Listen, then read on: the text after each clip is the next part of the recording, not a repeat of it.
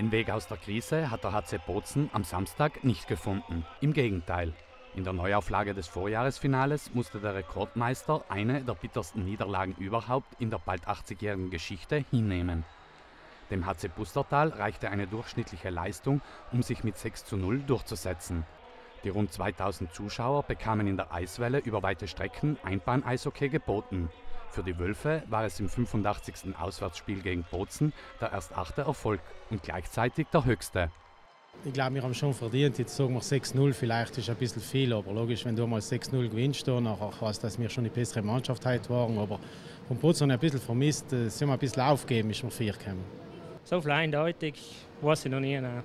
So viel leichter wie heute.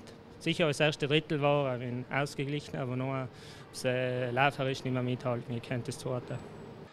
Beide Trainer konnten aus dem Vollen schöpfen. Bustertals Coach Paul Eddy setzte über die gesamten 60 Minuten vier Sturmlinien ein, während sein Gegenüber Brian McCutcheon den vierten Block mit Peter Wunderer, Federico Gilmozzi und Stefano Piva nur sporadisch aufs Eis schickte. Bozen erwischte den besseren Start und fand in Überzahl auch die erste Chance vor.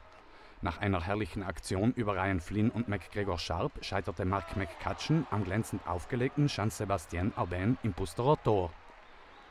Auf der anderen Seite war es Bettianone, der für den ersten Aufreger sorgte. Patrick Bona leistete die mustergültige Vorarbeit und der Italo-Kanadier biss sich mit einer Direktabnahme an Günther Hell die Zähne aus. Wenig später ließ Bustertals Neuzugang Ben Guité seine ganze Klasse aufblitzen.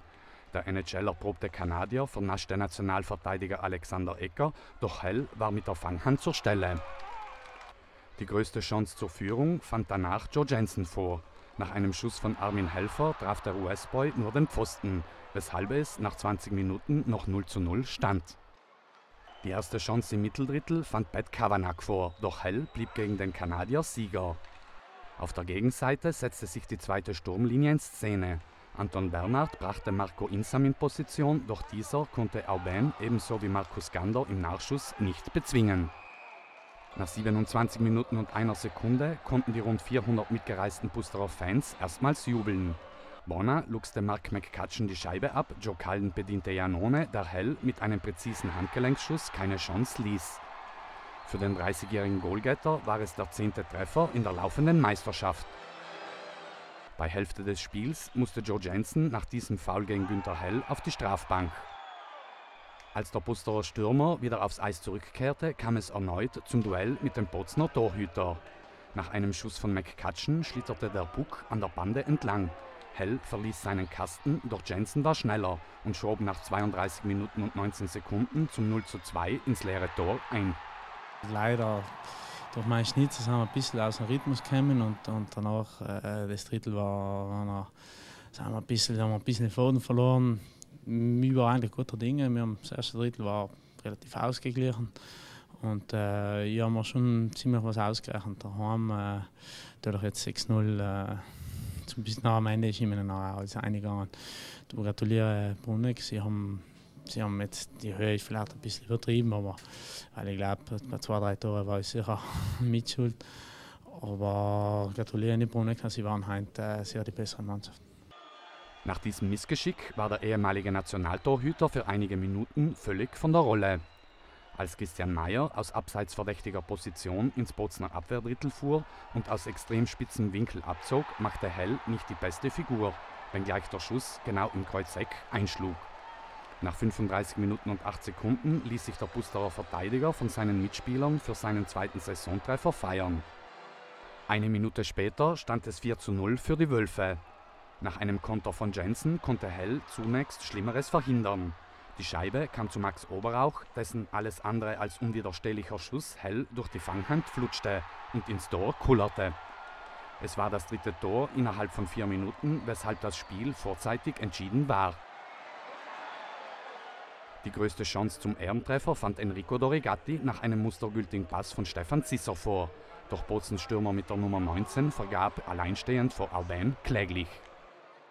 Gleich nach dem letzten Seitenwechsel zündete Bonner den Turbo, ließ Daniel Fabris stehen, doch Hell war auf dem Posten. Das fünfte Pusterer Tor war nur aufgeschoben. Helfer zog hinter der blauen Linie ab, Lukas Dauber stocherte nach und Guité hatte keine Mühe, um den Buck über die Linie zu buxieren. Für den 34-jährigen Kanadier war es in seinem vierten Spiel für den HC Pustertal der erste Treffer. Den Schlusspunkt unter diese einseitige Partie setzte Max Oberauch. Jensen legte für seinen Sturmpartner ab, der mit einer Direktabnahme mühelos zum 6:0 einschoss. Nach 55 Minuten und 36 Sekunden und dem siebten Saisontreffer von Oberauch war der höchste Busterer Auswärtssieg gegen Bozen Gewissheit. Für den HCB war es dagegen die fünfte Niederlage in den letzten sechs Spielen. Ein Indiz dafür, dass es höchst an der Zeit wäre, auf dem Transfermarkt tätig zu werden und die längst versprochenen ausländischen Verstärkungen zu verpflichten. Ja, logisch, wir reden auch darüber, über die Sache, aber im Endeffekt muss es der Verein entscheiden, das an die was zu holen. Ähm, sicher mit vier, fünf Verteidiger das ganze Jahr zu spielen, ist schon schwer, weil ich meine, wir spielen die Woche dreimal, nächste Woche dreimal sehr schwer, aber trotz allem, ich meine, es sind teilweise Entschuldigungen. Wir haben gegen Mailand verloren, die haben auch mit einem Ausländersturm gespielt. Meine, wir hätten auch das Potenzial, echt schon besser zu spielen, wie wir momentan spielen. Sicher. Qualität, wenn Qualität, wenn jemand kommt, muss einfach gut sein. Qualität als andere kennen wir auch. Deswegen, äh, ich hoffe schon, dass wenn jemand kommt, dass er einfach ein guter Spieler ist, was uns wirklich weiterhelfen kann.